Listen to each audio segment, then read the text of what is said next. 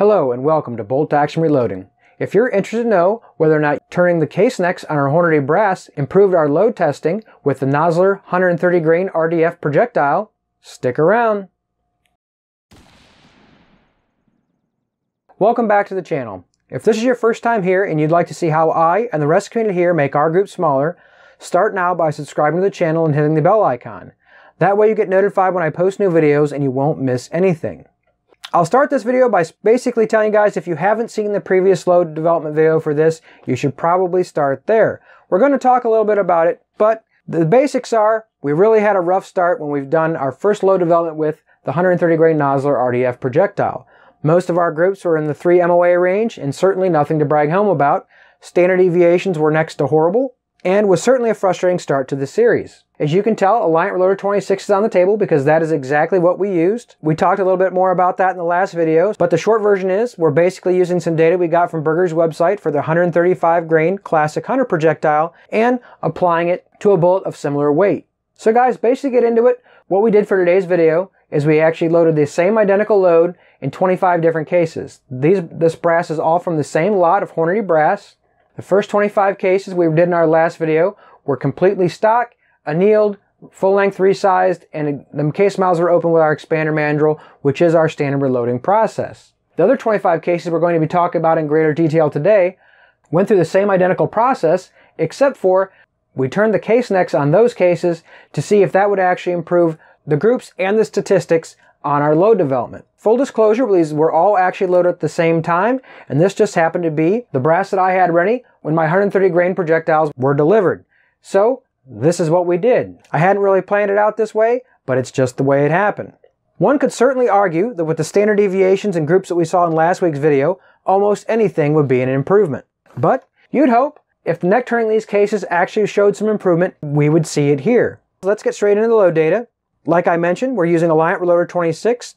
We started at 47.4 grains and went all the way up to 49.5 grains. The projectile we're using for test is the Nosler 130 grain RDF part number 53505.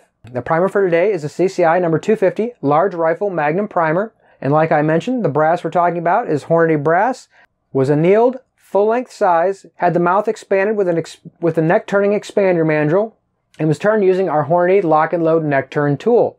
If you guys would actually like to see the video where I turned those, I'll put a card up so you guys can go check that out as well, so you can get into as much detail on this particular load development as you'd like. So the cartridge overall length was 2.840 inches. Our cartridge-based ogive measurement was actually 2.185 inches. The estimated velocities for today's video were actually based on the velocity curves we generated with Alliant Reloder 26 and the 130 grain ELD match projectile by Hornady.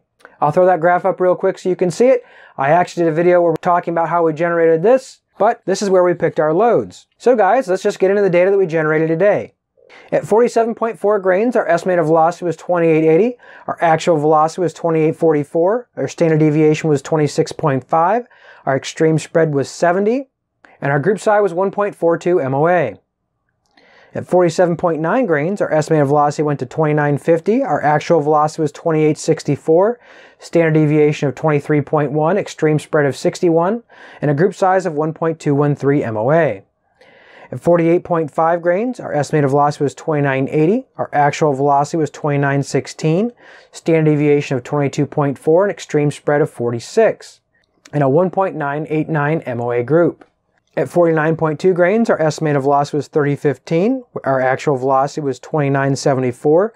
Standard deviation of 16.8, extreme spread of 57, and a 1.104 MOA group. At our max charge of 49.5 grains, our estimated velocity was 3050. Our actual average velocity was 3011. Standard deviation of 12.3, extreme spread of 30, and a group of 2.506 MOA. Now guys, if you hadn't seen last week's video, you'd think, how could this possibly be an improvement? However, the groups and statistics were so bad from last week's video, let's talk about it a little bit. Starting off talking about the velocities, though there is a slightly different average velocity from the two groups, I'm really not sure that that is much of a factor. Talking about the average velocity a little bit, I'm really not sure there's anything statistically differently noticeable about the neck tension on these two specific loads. If anything, you would think the neck turn brass would have the slightly lower neck tension, which actually would have lowered the velocity a little bit, at least from the experience that I have had. However, I'm really not sure that these values are statistically different and any trends can necessarily be established. The average velocity on the max load was, was actually only 1 feet per second off, and the 47.9 grain load was actually within 2 feet per second. I really don't think there's anything significantly different. Talking about the standard deviations, though they're not good, certainly what a change. Three of our standard deviations from our first group were actually in the 30s, and our worst standard deviation on this group was 26.5. Though the extreme spread was only slightly better, the standard deviation was quite better. In fact, let me put just a little chart up on the screen so you guys can see the actual difference from the stock brass from the neck turn load. There really is quite a difference. Though my biggest surprise of all was actually the groups. Though certainly not to brag about, our smallest group being only 1.1 MOA, that is significantly better than the 3 to 3.3 MOA groups that we were getting through the first four charges. Though our max charge group was not significantly better, it was very interesting to me that the group shrunk by such a drastic rate. In fact, put on screen you can actually see how significantly our groups actually dropped. And in my book, guys, that's very impressive. I really don't want to give you guys the wrong impression. I really don't think we ended up with a good load at the end of the day. However, I do think it was pretty amazing how much the group shrunk simply by turning these case necks. I honestly did not expect to see such a significant difference. Now in this particular case, I don't think it's going to make a bad load turn good, but I certainly am more interested now on knowing a load that I have shot that's pretty good to see if it can do even better. Overall, the statistics seem to improve fairly significantly.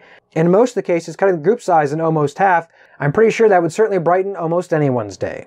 So guys, we'll probably end up picking a different powder if we go on with this load. Honestly, the next time that I shoot this brass, I'm not sure if it'll be with the same projectile. Maybe we'll actually take a quick look and see if we can take one of our other load workups that did pretty good and do a comparison to see if it actually does any better in our neck turn brass. Not saying we can make any direct conclusions, but certainly our first try doing this case neck turning certainly looks positive to me. So guys, I'd really love to hear from you guys in the comments section below. Do you guys actually turn your case necks? What kind of results do you guys see before and after your case neck turning. I did run into an article on Precision Rifle Blog. If you're unfamiliar with them, they frequently do surveys of the top 100 shooters in the PRS, and probably not a big shocker to anyone that's watching this channel that 90% of the top 100 actually reload their own brass. Of those, when they talk about what some people think of as optional steps in their brass preparation, actually 65% of all of those people anneal, and 53% of them actually turn their case necks. So, while both sets of brass in this particular case were annealed, I almost wonder if the biggest improvement that we actually got from this was actually turning the case necks. Now, I'm fully aware Hornady brass is probably not the most consistent brass that we could buy, and I think that's another reason why some people tend to go to other brands like Lapua, Norma, and Nosler. However, I know there's a few of us that still have some Hornady brass laying around, and if you've thought about turning your case necks, maybe this will give you some motivation to do it, or who knows, maybe not. Love to know your thoughts in the comment section below. Like I mentioned, guys, if you guys are doing this already, I'd really be interested to know what type of improvements have you seen in your load development with this? Have you done case neck turning, not really saw anything, and decided to give it up? I did really think it was interesting. I hope you enjoyed today's video and found it very informative. If you have any comments or questions on the video, please put those in the comments section below. If you're not subscribed to the channel and you like the content, please consider subscribing to the channel and hitting the like button.